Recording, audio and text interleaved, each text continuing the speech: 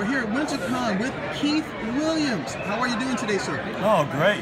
Great, thank you. All right, now just wanted to talk to you about your experience working on Superman with John Byrne, doing inks and backgrounds. Uh, can you tell us a little bit about it, please? Well, it was absolutely amazing to be able to work with John. Uh, he asked me actually to start working with him on the on Alpha Flight uh, back uh, at Marvel.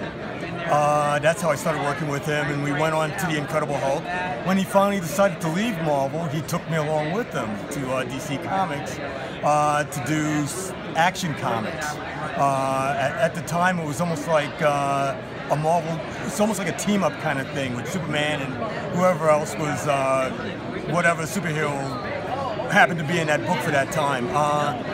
so um, would let me uh, do the backgrounds, he would do the foregrounds. Uh, and he was also so nice to allow me to have my name on the front of the of the uh, cover along with his as a background artist. That was never that, that was never done before. The other thing that was never done before was for him to uh, allow me to get uh, some of the royalties on the books that, that he would work on, that I would work on with him. Uh, so, and I still get royalties to this day uh, on on books like uh, the Hulk or Superman. Uh, if they ever, you know, like uh, reprint the book again, you know, like uh, I, I, get I get a check in the mail. It's, it's, it's, it's really amazing. That's great. Uh, with, the, with, the, type of stories I hear with the comic book industry about people not getting their you know fair share or cut of whatever was going on, that's a great story to be able to share out. Out the bag now. Absolutely. What uh, what was your favorite book to work on regarding Superman? If that's a question you can answer for us. Book. Oh gosh. What storyline like really sticks there? Okay. Um, there was the New Gods one, uh, Mr. Miracle there, there, was a story of Mr. Miracle and Big Big Barda. Yes, I remember that story. And I, I, I really had fun working working on that. Um, he he would do very detailed backgrounds, but of course he would never have the time to, you know, like ink them himself. You know, so that's why he would have me do it.